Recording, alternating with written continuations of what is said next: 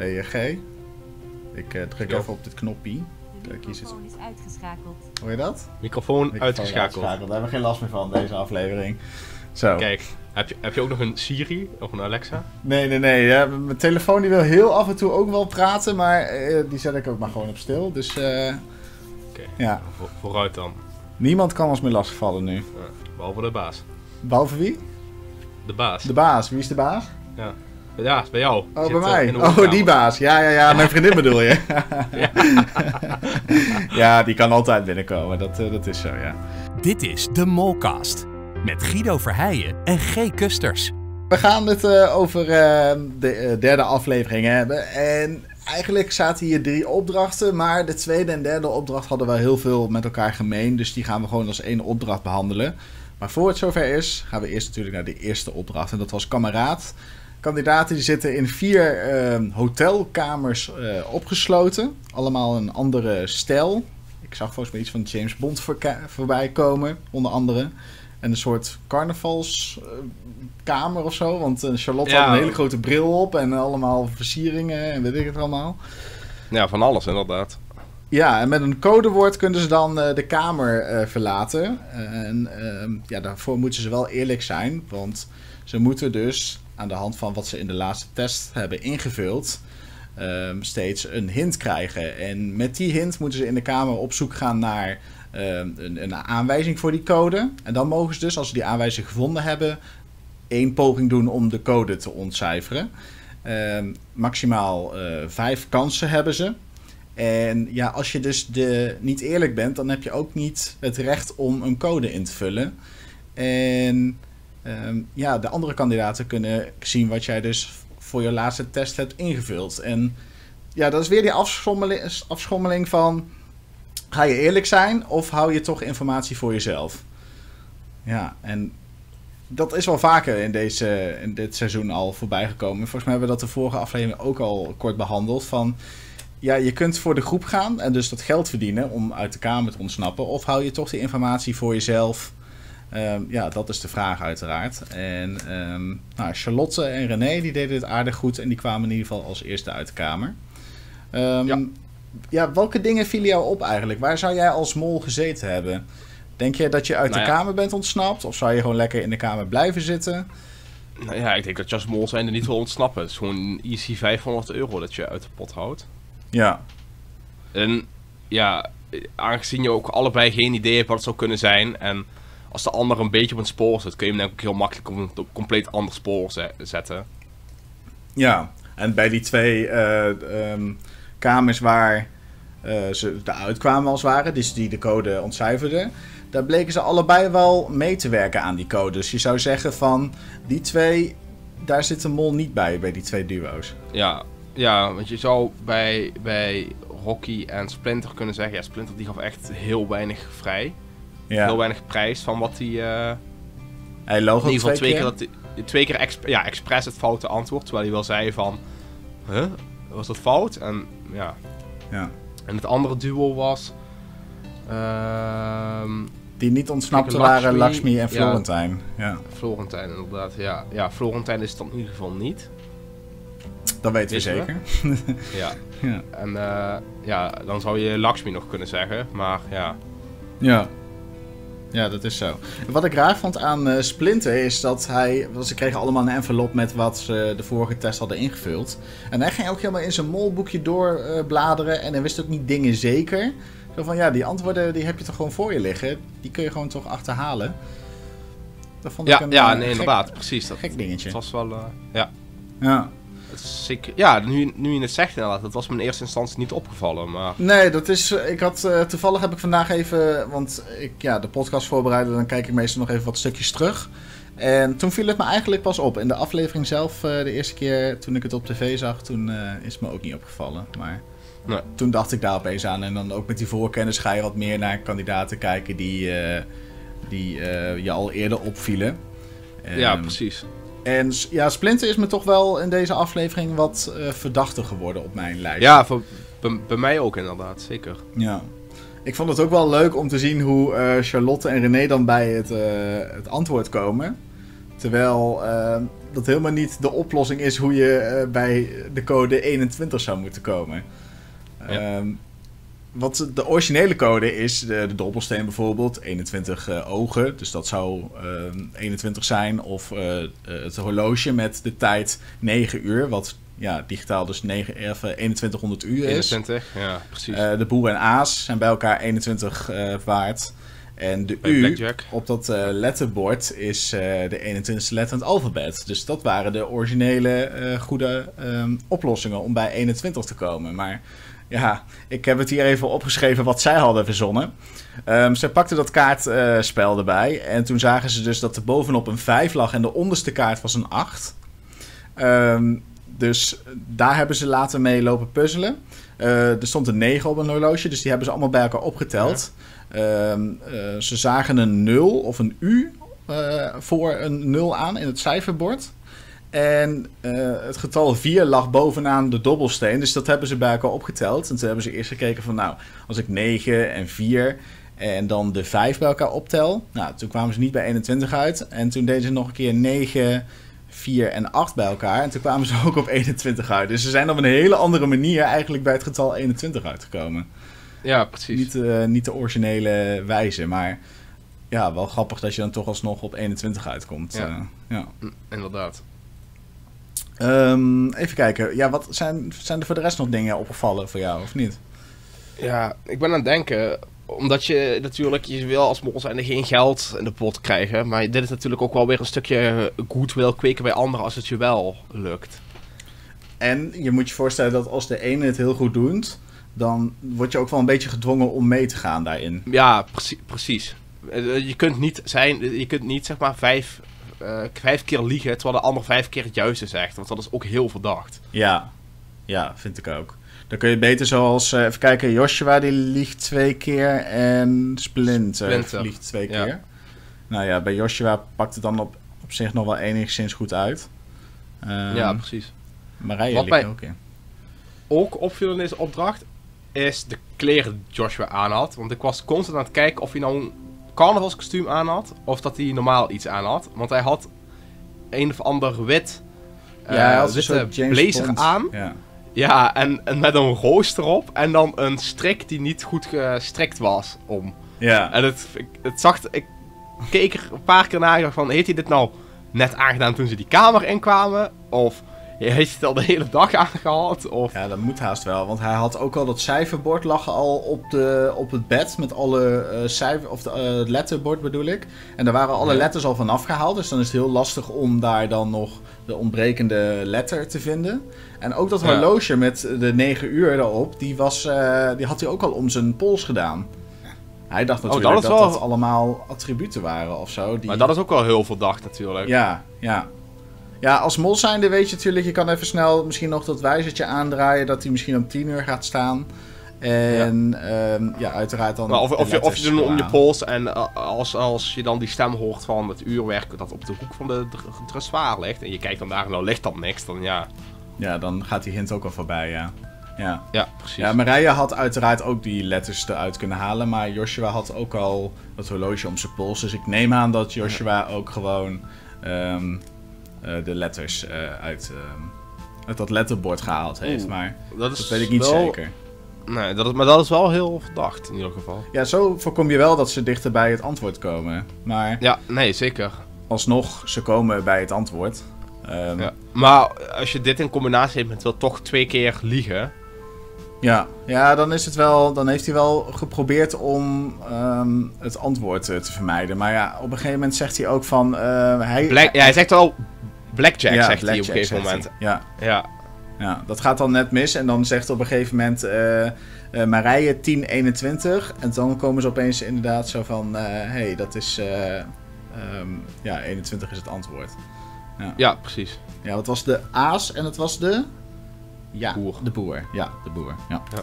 bij elkaar 21. Ja, dus ehm, al met al, eh, als Joshua dus de mol is, dan is het een, eh, niet echt een geslaagde molactie van hem geweest. Maar ja, eerlijk is eerlijk, ik verdenk hem ook niet heel erg meer.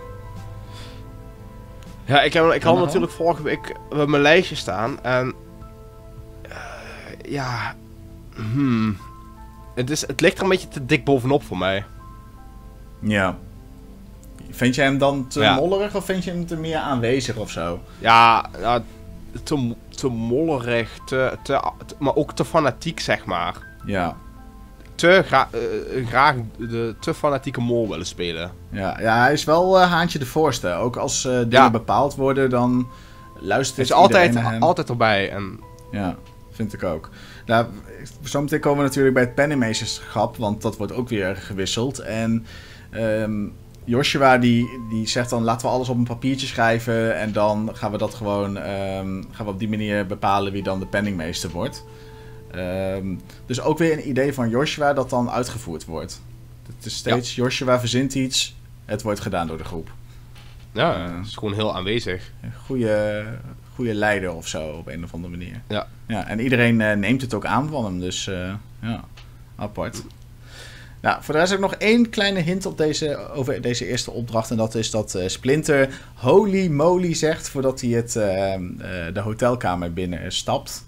Eh, vond ik een leuke verwijzing, omdat Thomas Kammaert, de mol van seizoen 17, die heeft ook wel eens dit soort uitspraken gedaan. En hij bleek ook echt een mol te zijn. Dus misschien dat hij Oh, weer... mo Molly als een Molly. mol. Ja, Ha, ja, ja. ha, ha. Ja, zou, zou leuk kunnen zijn als het zo is. Ja. Nee, dat zeker. Nou, we, zijn het eigenlijk, we zijn het eigenlijk net ook al van ehm, de tweede en derde opdracht als een beetje ehm, samengevoegd. Is een soort Ja. eh, kajakken eh, en daarna eh upseilen. Ehm, waar denk je dat de mol heeft gezeten bij deze opdracht? Ehm, ja, we hadden het hier net ook al even over. En ik zei in eerste instantie, ik denk dat het niet te veel uitmaakt. Als je in een kajak zit, onthoud je gewoon die naam even niet. Of onthoud je een verkeerde naam. Eh, en als je in de toren zit, eh, dan pak je gewoon even een verkeerde, verkeerde koker mee. Maar ik was aan het denken, als je de verkeerde naam onthoudt bij de kajak en je zegt dan tegen iemand, ja, die moet je pakken inderdaad. En hij pakt dan zo'n jokerkaart, wat niks is. Dat is natuurlijk wel direct voor diegene van, ja, hallo, je hebt tegen mij gezegd dat ik die moest pakken. Ja. ja, je kunt aan beide kanten kun je verwarring veroorzaken wel. Ja, precies. Ja. Ja, inderdaad, Dus- wat je zegt, je kan een jokerkaart doorgeven. En dan kun je later, als dan degene eh, die aan het upseilen is, dan ook echt daadwerkelijk die koker heeft gepakt. Van nou, ik heb gezegd dat je iets anders moest pakken. Dus je kan heel erg verwarring veroorzaken. Ja. Ja, Ja. ja, uiteindelijk is en je het kunt wel... heel makkelijk, ja. ook heel makkelijk zeggen dat iemand iets verkeerd gehoord of verkeerd, of verkeerd gezegd heeft, omdat het natuurlijk een vreemde taal is. En het leek ook wel op elkaar. Ja, alles, was bijna alles hetzelfde. Alleen dan één of twee woordjes die, die net iets anders waren als in de andere. Ja, want de letterlijke vertaling was volgens mij: dit is een klein voordeel, dit is een groot voordeel, dit kan een voordeel zijn en dit is volgens mij een nadeel of zo. Of dit is een, eh, Oh, dit ja. is een klein nadeel. Dus het is, er zit Ja. allemaal net waarschijnlijk één of twee woordjes verschil in, wat het best wel lastig maakt. Ja. Het dit is een is dan overal hetzelfde en dan voordeel, groot voordeel, nadeel, Ja. dat is dan hetgene wat anders is. Ja. Ik heb even eh, erbij gepakt wie, eh, of opgeschreven wie wat verdiende. Ehm, Rocky die pakt eh, de twee jokers. Ehm, René 500 euro. Splinter 500 euro. Charlotte 1 joker. Ehm, even kijken. Joshua 500 euro. Florentijn 2 jokers. Marije 2 jokers, waarvan ze er eentje aan Lakshmi geeft. En Lakshmi 500 euro. Ja. That's it.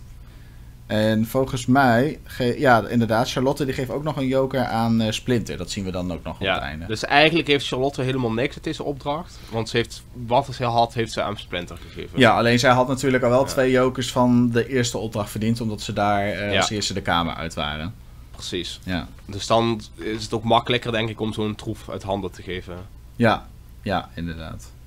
En eh, we zien eh, René, die heeft dan, even kijken, die heeft twee jokers verdiend bij de eerste opdracht, maar die zette ook maar eentje in bij de test. Dus die heeft er ook nog eentje over. Dus de Ja. kans dat zij dan de vorige- volgende aflevering eruit gaat, dat is best wel klein dan. Of er moeten weer Heeft jokers komen. Charlotte, heeft Charlotte zijn jokers ingezet? Charlotte heeft één joker ingezet. Ehm, en de rest? Want eh Marije en Lakshmi hadden dus ook allebei een joker. Opmerkelijk is, eh Florentijn die zet twee jokers in, maar die is dus, eh, Ja. die ligt eruit. Rocky Maar die zet mij- twee jokers in. Ja, volgens mij gaan we het straks natuurlijk ook nog even over hebben. Ja. Had hij ook echt geen idee op wie die moest stemmen. Nee, dus ik denk nee. dat hij... Nee, hij zegt inderdaad Joshua en Marije heb ik hier opgeschreven, waar hij op zat. ja. Ehm, maar ja, of we dan Joshua en Marije nu kunnen afstrepen, dat lijkt me sterk. Nee, precies. Ja. Maar goed, even terugkomende dus op eh, de opdracht. Ehm, eh, inderdaad, je kan aan beide kanten mollen. Ehm, en wat ook wel weer opmerkelijk is, is om te zien dat dan ook nog drie kandidaten gewoon voor zichzelf gaan en voor die vrijstelling gaan. Terwijl ze Ja, van tevoren hebben afgesproken dat, eh, dat ze Ja. voor iets anders zouden gaan. Maar dat is wel eh, heel opvallend. Want ik... eh, ja, kijk, ze kunnen natuurlijk... mm, Dat denk ik niet. Want dan... Ja, ik bedoel, die mensen die meedoen zijn niet dom. Je kunt altijd natuurlijk ook zeggen van... Ja, ik heb het verkeerd begrepen. En ik dacht dat Rocky alleen maar een ding omruilt. Maar...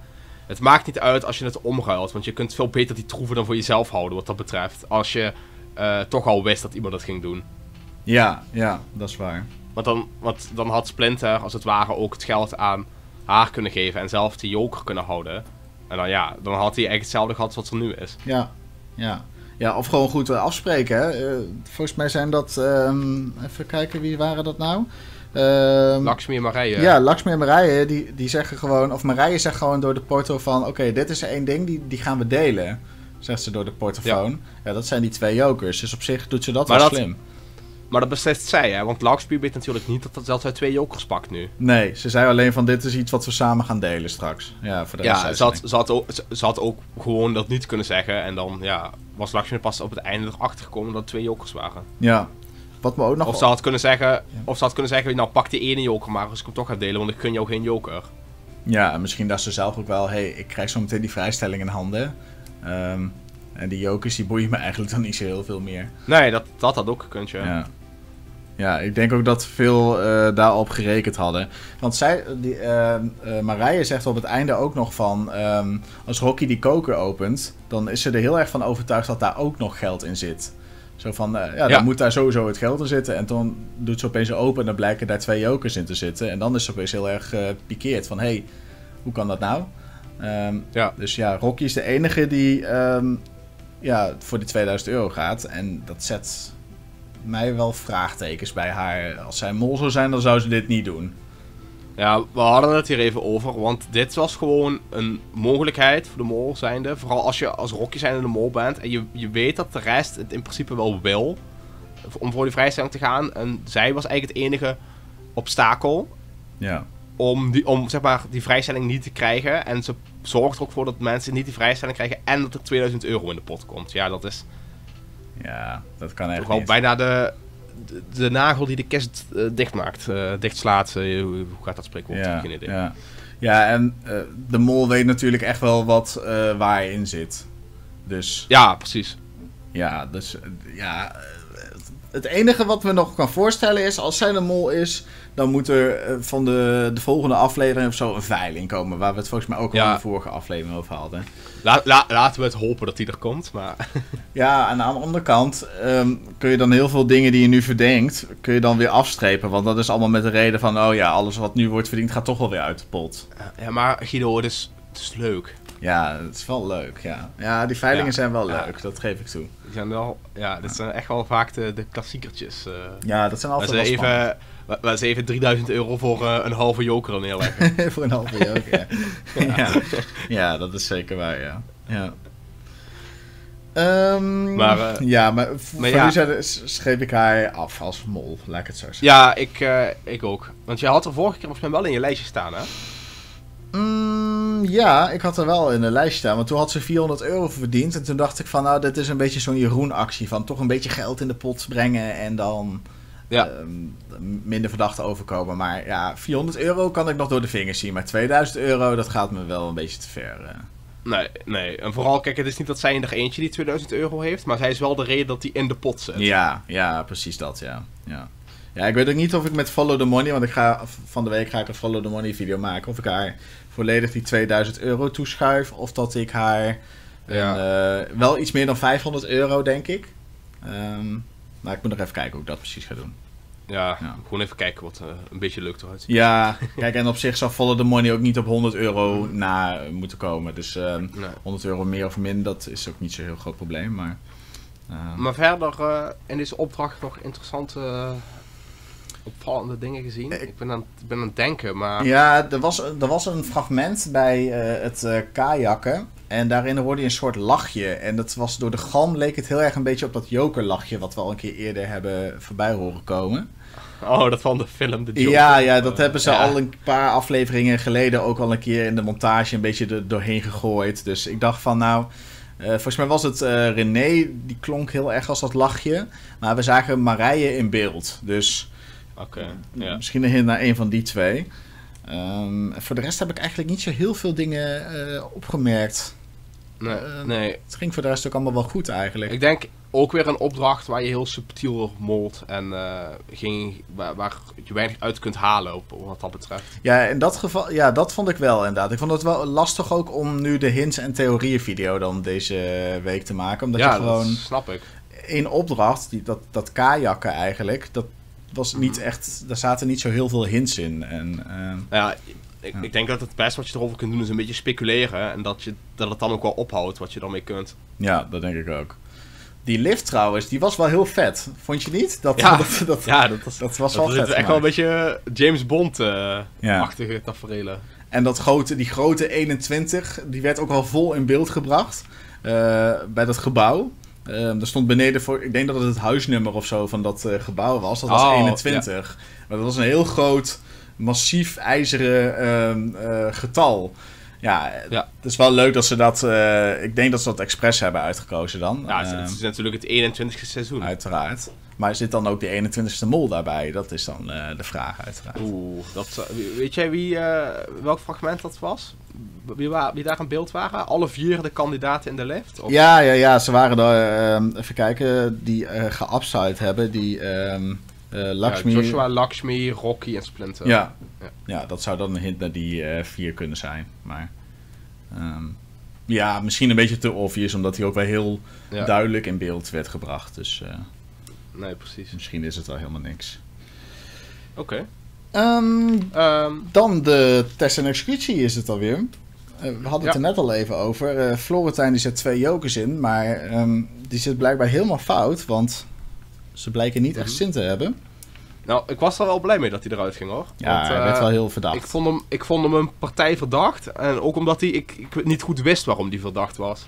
Ja, volgens mij hebben, eh, zagen, zeiden wij het ehm, vorige podcast op het einde volgens mij al van nou, die zal de vorige, volgende week wel uitgaan, want hij werd Ja, of in ieder geval tegen elkaar hebben we dat. eh, Het zou best kunnen zijn dat dat buiten de podcast was. Maar Ja. dat in ieder geval. Ik hoopte het in ieder geval wel heel erg.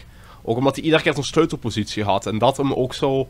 Ja, Ja, zoveel, eh, me zo naar hem toe trekt. trekt Ja. trok. Ja, ja. ik heb even de, de officiële Wie is de Mol podcast geluisterd van de week en daar was hij dan te gast. De afvallen is daar altijd te gast. En daarin Mhm. zei hij ook al van ja, ik probeerde ook wel een beetje op die eh, locaties te staan waar je het beste kan mollen. Maar dat probeerde ik het dan juist zo goed mogelijk te doen. Zoals bij Ja. ehm, het doorgeven daar bij die auto's met die, die kaartjes. Die, ehm, Mhm. bij die vrachtwagens.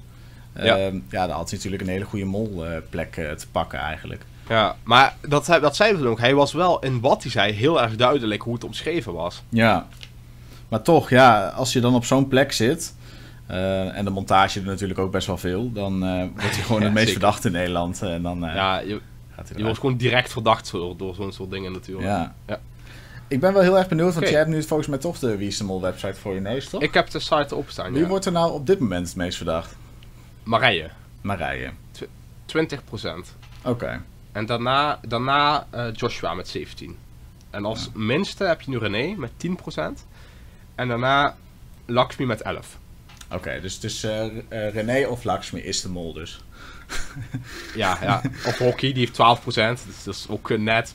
ja, ja. Splinter heeft 14. Dus dat zit allemaal heel dicht bij elkaar. Ja, Eh, Spl- Splinter, daar moeten we het zo meteen ook nog maar eens even over hebben... als we de ja, verdenkingen ik, gaan eh, noemen. ik denk dat ik mijn lijstje straks eventjes eh, op de kop ga schudden. Even... eh, je weet wel, dat, dat je, hoe je dat vroeger deed met knikkers. Dat zo alles wat onderop zit naar boven komt. Ja, ja, ja. Dat ga ik, straks, ga ik straks ook even doen, denk ik. Ja. Even een herindeling van eh mollen. Ja. Ja, precies, Ja. precies. Dit is, gewoon, dit is gewoon de tweede aflevering, wat we vorige keer Oh ja, hadden gezegd. Ja. Jij zei vorige week volgens mij dat eh Florentijn de mol was. Had jij op één staan? Ik, eh, ik had hem op, eh, nog op mijn nummer 1 staan Ja. toen. Terwijl dat wel eh, waarschijnlijk tegen beter weten in was al. Maar ja, ja, ja, je, ja, je moet toch een beetje gokken uiteraard. precies, precies. Het moet ook leuk blijven. Dat is ook zo. Ja. Ehm, even kijken. Ja, Florentijn had dus twee jokers ingezet en Rocky heeft twee jokers ingezet. En voor Ja. de rest werden er überhaupt wel veel jokers weer verdiend en ehm, ingezet. Alleen Joshua en Lakshmi hadden geen jokers.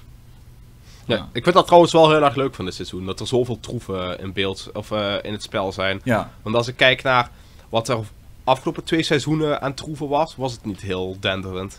nee, volgens mij in seizoen 20 maar één joker of zo. zo. Ja, en misschien één keer een vrijstelling. Of een zwarte. Oh ja, de eerste opdracht een zwarte of een groene vrijstelling. Oh ja, Nee, in ja, zwart alleen. Oh ja, ja. Al- Zwart en een groen, ja. Ja. daar kon je kiezen, Ja. toch? Ja. Ja, oh zoiets. Ja, geluk of wijsheid. Ja, en dat, dat was de ene. Was, eh, ja. Ja, en volgens mij hebben ze later nog iets, een soort van eh, vrijstellingsroute of zo. Daar konden ze allemaal bakjes en dan mochten ze niet teruglopen. Ehm, Ja. Ja, Ja. precies, precies. Toen is er Ja. volgens mij ook maar één joker of zo gepakt. Dus eh viel een beetje tegen vorig seizoen. Ja. Ehm, maar dit seizoen hebben ze dat weer eh, aardig goed gemaakt. eh. ja. Maar er is nog geen vrijstelling verdiend dus door een kandidaat. Ehm Nee. We gaan kijken of dat nog gaat gebeuren. En of de zwarte vrijstelling natuurlijk nog terugkomt. Dat vind ik ook altijd wel leuk Ja. als die terugkomt. Ehm, en tot die tijd... Maakt alles weer anders. Ja, dat maakt alles wel anders, inderdaad. Tot die tijd gaan we het doen met onze top drie eh, verdenkingen, denk ik, op dit moment. Ja. Ehm, voor als je de podcast aan het kijken bent, dan zie je nu in beeld wat onze eh, top 3 van vorige week was. Eh, en anders noemen we hem gewoon nog even op. Eh, jij had Florentijn op 1, Joshua op 2. En je had op 3 eigenlijk twee mensen staan. Charlotte en ja, die, het was een beetje om het even, inderdaad. Ja. ik wist niet heel goed wie ik daar neer moest zetten, dus dan maar een gedeelde derde plaats. Ja, ja. Nou, jij ging hem helemaal omgooien, dus vertel maar. Wat, Ja, nou, ik vind het heel moeilijk wie ik op plek 1, 2 of 3 zet. Ehm, maar ik wil eh, sowieso wil ik Charlotte erin laten staan. Ehm, ik denk dat zij eh, naar 1 mag van mij. Oké. Ja. Ehm, ik wil graag eh, René op 2 gaan zetten. Die komt even onder van de, uit de box. Ja, die had jij nog niet eerder erin staan. Nee, Nou, die heb ik nog niet eerder genoemd. Nou, volgens mij heb ik die in aflevering 1 genoemd, omdat ik toen maar iemand moest noemen. En op drie? en ik wil, eh, op 3 wil ik Splinter zetten. Splinter. Ja. Dat eh, snap ik wel, ja. Die is wat eh, verdachter, inderdaad. Ja, Ja. Ja, en waarom ik maar ik vind Marije die, die is ja ook weer afgelopen opdracht. Dan geeft ze toch aan Joshua veel prijs. Helpt ze hem naar het juiste naar de- uit de kamer ontsnappen. Joshua ontsnapt uit de kamer. Noemt heel slim Blackjack. Desondanks dat hij wat gekke dingen om had en zo. Pakken allebei toch weer even jokers en geld. Deelt haar jokers met Lakshmi. Dus, dus wel, ja. Ja, 1 en 1 is 2. Ja, precies. Dus te, te, te veel kandidaat dingen eh, wat mij betreft. Ja. Om er in ieder geval in mijn top, 4 te, eh, top 3 te hebben nu. Mhm. Even kijken, mijn top 3 vorige week was Charlotte op 1, Florentijn op 2 en Rocky op 3. Nou ja, vanzelfsprekend gaat eh, Rocky uit mijn eh, lijstje verdwijnen. Net zoals Florentijn uiteraard. Want die, eh, die is het in ieder geval ook niet. Die hebben dan niks meer te zoeken. Nee, nee. Ehm, ik zet René eens een keertje op de eerste plek neer. Omdat ze mij toch wel ehm, eh, ja, verdacht li- lijkt. Ehm, toch kwamen ze wel uit de kamer. Maar ik heb dus een beetje het idee dat zij... een beetje ja, de nadelen is gelegd aan eh, Charlotte... die best wel fanatiek was bij die opdracht. Ja, René was niet heel fanatiek inderdaad. Die was Nee, van, eh, ik denk dat ze een beetje iedere keer als Charlotte zei van... Je moet het wel echt goed invullen, hè? Van, eh, ja, ja, ja. ja, rustig. ja. Ja, precies. Dus, en volgens mij is het, als ik me nog goed herinner, zegt Charlotte op een gegeven moment van... ik heb op jou gestemd tijdens de test. En dan zegt René ook zoiets van, eh, oh, goed bezig of zo, of goed gedaan. Mhm. Zo van, mm, Ja. mm, Of vreemd. van, van, oh... Ja, Ja. ja. vreemd vond ik dat wel. eh. Dus René daarom op eh 1. Charlotte, ja, die hebben we de vorige aflevering weinig gezien. In deze aflevering deed ze het wel iets beter. Ehm, maar 500 euro verdienen vind ik nog Ja. niet zoiets dat ik denk van... nou, ik ga jou uit mijn lijst halen. Dus ik zet haar nu op, eh op 2. Op drie zet ik denk ik ook Splinter. Omdat Ja? ik hem... Oh, ons lijstje wel weer eh, redelijk identiek het worden. ja, ja, wij, ja, alleen Charlotte en René hebben omgedraaid, ja. Ja. ja. Nou ja, goed. eh, we gaan kijken of die, die twee dames en hier erin blijven. Het is spannend of de volgende aflevering weer een man uitgaat of niet. Ja, ja, ja. Ik, je weet het niet. Nee, nee, dat is het ook. Je weet het niet. Nee. Je weet het niet. Je weet het niet. En ja, ik vond het ook wel leuk dat eh Sean van Eert in deze aflevering weer eventjes terugkwam. Ja, ja, ze proberen dat volgens mij wel wat meer te doen, die oud. Maar ze hebben natuurlijk nu ook een heel arsenaal aan oud mollen dat ze in kunnen zetten. Ja. Dus het eh, Ja, wordt ook steeds makkelijker. ja precies. Er kan er zo weer even eentje in- terugkomen. En dit was eigenlijk ook gewoon even een bandje in Nederland waarschijnlijk al opgenomen. Ja. En dan afspelen. Maar op zo'n manier maken ze toch die opdracht weer een beetje specialer. Als dat ze het gewoon door Rick of iemand anders van Ja, de productie laten ook. Ze hadden het ook leuk kunnen doen door de mol het in te laten spreken en dat te vervormen. Ik denk dat ze dat in de Mol België hadden gedaan. Ja, dat was ook, eh, ook wel interessant geweest. Ja, Ja. ja, wij hadden afgesproken dat we de Mol België gingen doen hierna, toch? dat was wel ja, idee, ja, ja, ja, ja. Volgens mij hadden we toen een keer een poll eruit gegooid van... hé, we gaan de Mol België doen. En eh, Toen was iets van bijna 70% volgens mij van ja, doe Ja. maar. Dus eh ja, dat begint in, eh, in het voorjaar ergens weer. Dus ehm, het voorjaar. ja. Als deze afgelopen Ja, is, volgens dan mij eh, wel, zitten ja. ze een paar weekjes break en dan die. Ja, ja dan ga je wel zien dat die opdrachten ook wel heel vet zijn daar hoor. Ja? Ja. Ja, ik heb daar nog nooit een seizoen van gevolgd. Oh, dan ga je dus het heel leuk benieuwd. vinden. Dat Dus, is, maar ik ga nu ook extra, ik wil ook extra eigenlijk niks gaan kijken. en nee, nee, nee, moet je dat doen. seizoen gaan volgen. Ja. Omdat, dat, ja, omdat ik als ik jou moet geloven dat toch wel heel erg anders Ja, is. precies. Ja, vind ik zeker. En ehm, het gaat in Duitsland afspelen. Dat hebben ze laatst bekendgemaakt. Ehm, Oké. Ja, Ja, ja, die hebben natuurlijk ook dit jaar. eh, Ja. ja. dus, eh, Oké. nou ja, goed. ehm, maar dat is pas over eh, ja, zeven weken of zo. Acht weken, denk ik. Ja, kijk, dat, dat duurt nog even. Ja, nou, eh G, bedankt voor het meedoen aan deze Molcast. En Ja, volgende week heel bedankt zijn we er weer met een nieuwe top 3. Want dan hebben we het weer helemaal omgegooid.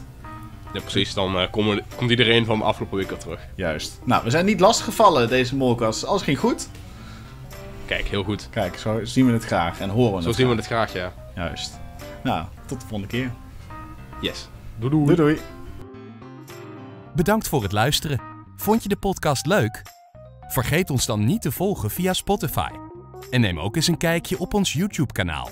Graag tot de volgende keer.